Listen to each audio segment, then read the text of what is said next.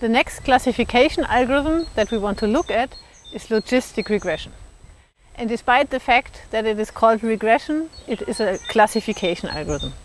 It is also one of the traditional classic algorithms, um, but as opposed to linear discriminant analysis, it's still used a lot also in practice. It's a very simple algorithm, but often it is quite effective. We start as follows. So again, we want to solve a classification problem on RD um, so we, our data lives in RD. Our output label is again plus or minus 1. We're in binary classification.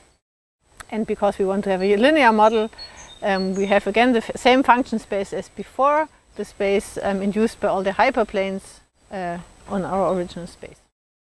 What we want to do is empirical risk minimization. And we have already seen that the least squares loss essentially corresponds to linear discriminant analysis. And now we want to use a different loss function, namely the logistic loss function. The logistic loss function is defined as follows. The loss for input data x between the prediction f of x and the true label or the true class label, we're in classification y, is defined as the log of 1 plus e to the minus y times f of x. And if you plot that function, the plot looks as follows. And here I have to explain what is really on the x-axis of this plot because it's a bit confusing.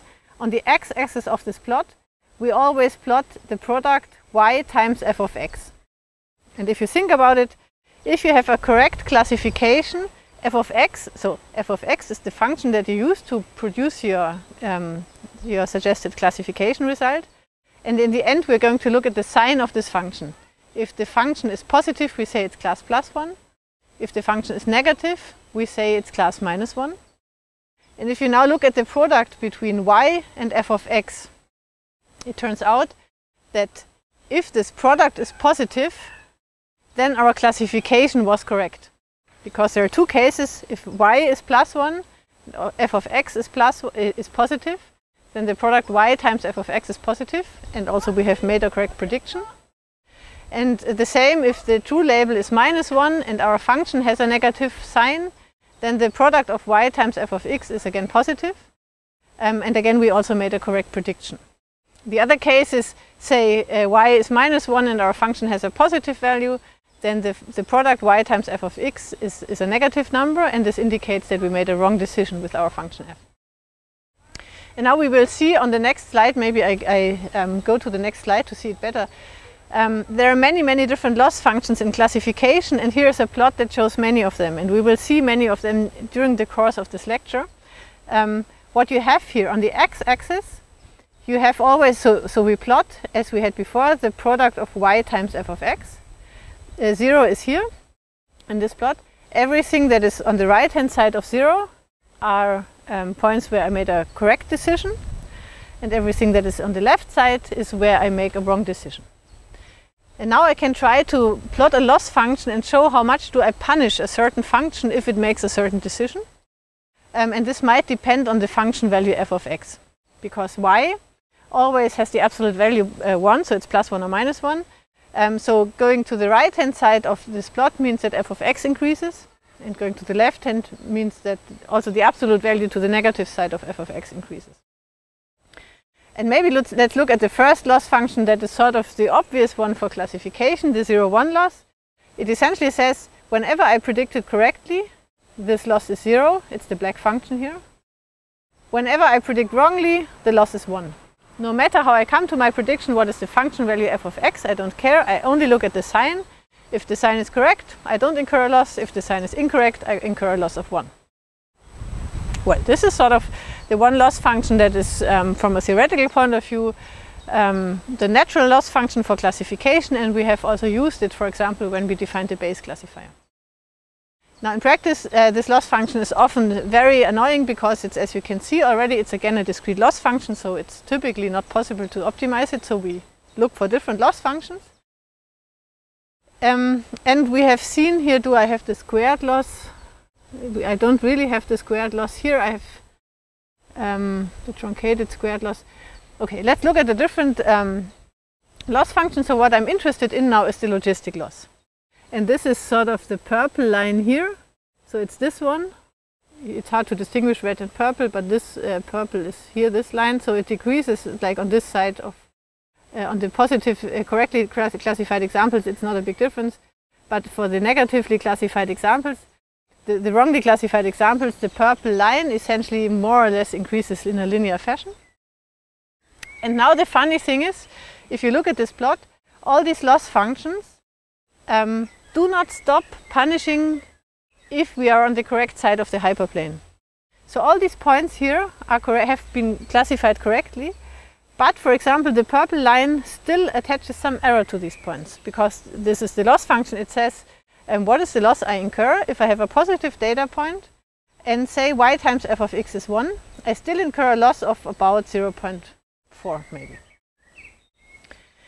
Um, and the fact, and this is um, the reason why we do that is because we want to drive essentially the classification, the, the, the, the, results far away from the hyperplane. So the larger f of x is in, in absolute value, if you're the correct side of the hyperplane, the, the smaller the loss is, at least for the logistic loss. So in the end it vanishes, but there's always a tiny bit of loss. But the further we are away from a hyperplane, the more sure we are that we are really on, on this side of the hyperplane and not on the other side, and then we incur a smaller loss. Whereas um, if we go to the side where we have wrongly classified a point, essentially we punish linear. So if we go to the wrong side of a hyperplane, um, we essentially punish by the amount by which we are on the wrong side in a linear fashion. There are other loss functions that we're going to see, for example, the hinge loss. Um, that's the loss used by the support vector machine. It acts somewhat similarly to the logistic loss, at least for the examples that have been classified wrongly, it also increases linearly. Um, but then it keeps on decreasing linearly until we're um, a bit away from the from the hyperplane. This is going to be called the margin. So as long as we're still close to the hyperplane, we still incur a certain loss. But once we're beyond this particular point, we don't incur a loss any, at, at all. But this is what we're going to look at in future. For now, we want to look at the logistic loss. And now we want to consider the empirical risk minimization framework. So we want to find the best linear function under the logistic loss. The first observation is that there is no closed form solution for this problem. So what you can do is um, you can plug it into your optimization solver. And the nice thing about the logistic loss is that it leads to a convex optimization problem, so this is easy to solve. Um, and if you want to prove why this is convex, you can look at the Hessian matrix and prove that this Hessian matrix is positive definite.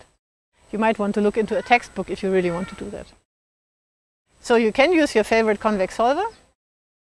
And so, of course, people have tried to figure out what are the best solvers that you can use in this case. And the Newton-Raphson algorithm is one that works particularly well in this case. But as I said before, we are not going to discuss the optimization algorithms in detail here. So this is all about logistic regression.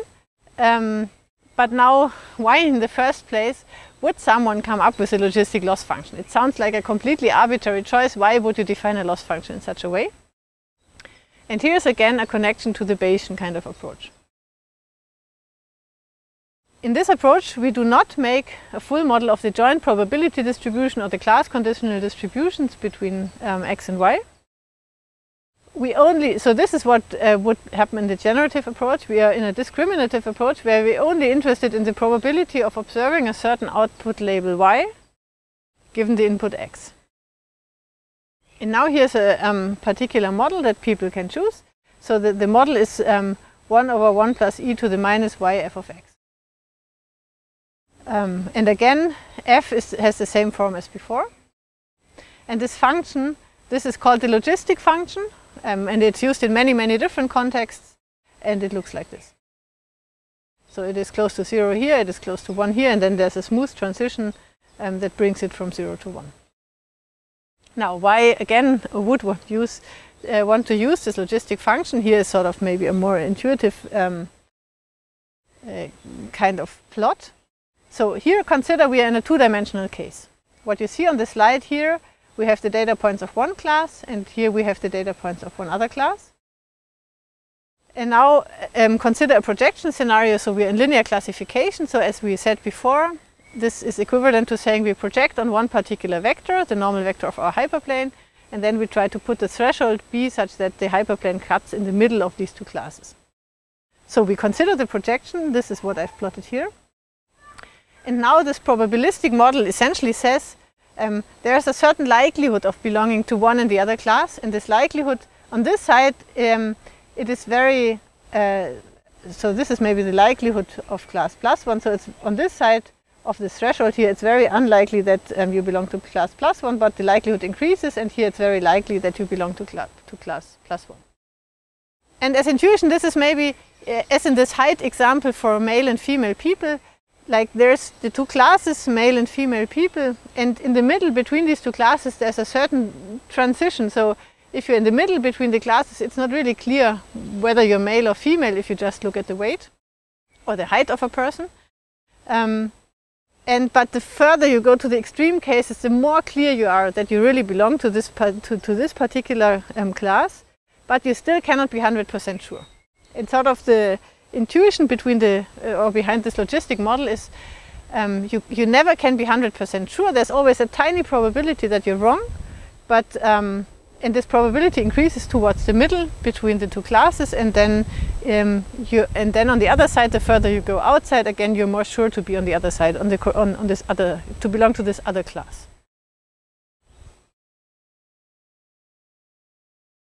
And sort of the value of this p of y given y x, uh, x is x tells us how far we are from this decision surface. This is what I've just been explaining. Now, um, we want to maximize the probability for a certain class given the input value under this particular model. Um, and you can now see by deriving the formulas that this corresponds to minimizing a certain loss function. Namely, it is the logistic loss function. Um, so, so again, we have this kind of coincidence, or not coincidence, but this translation. We start with a model-based approach. Write down, in this case, only the, here, let's go back. Uh, sorry. Here, we just write down um, the conditional posterior distribution uh, given uh, of the label given the input. Um, and Maximizing this probability is the same as minimizing a loss function, and in this case, it's the logistic loss function. And this is where it comes from, where, where the logistic loss function comes from. This is more or less the same plot as we have before. So here we have our data set. This is the decision function. Um, here we decide for class minus 1, here we decide for class plus 1. And this is what the loss would be um, that you would have depending on what you, what you predict um, for these particular points. Now, this is essentially logistic regression. As in regular, uh, as in ridge uh, uh, or in, in, in, linear regression, you can now also add some kind of regularization if you like to. Um, so you could use, um, again, the 2 norm of omega is in ridge regression to punish, um, to, to, sort of regularize your problem, to get maybe solutions that are not as, as variant, have not as such a high variance as before. You could use the 1 norm as in lasso. And in, in the end, um, then you simply solve the standard regularized risk minimization problem, minimize your loss on the training data plus your regularization. And you need to fix this uh, regularization trade-off constant lambda typically by cross-validation.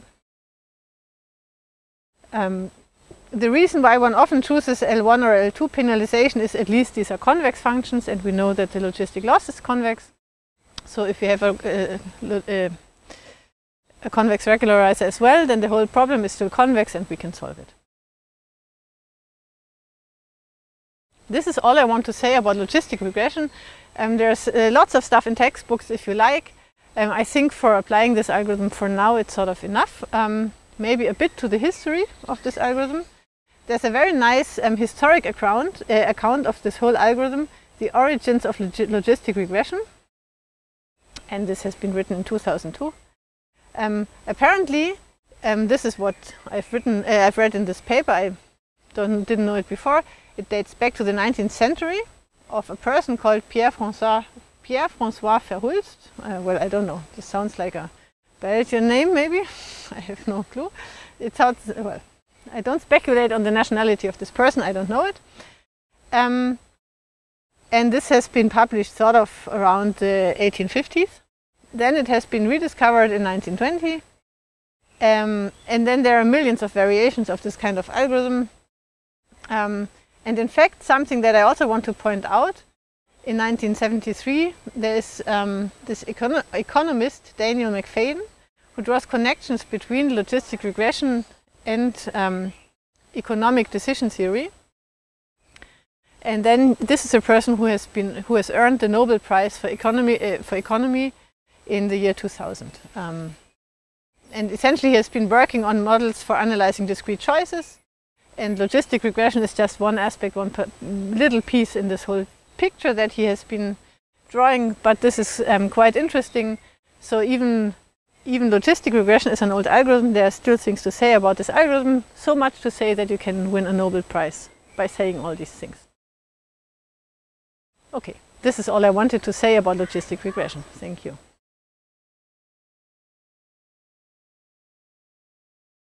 Also, jetzt haben wir es dann gleich.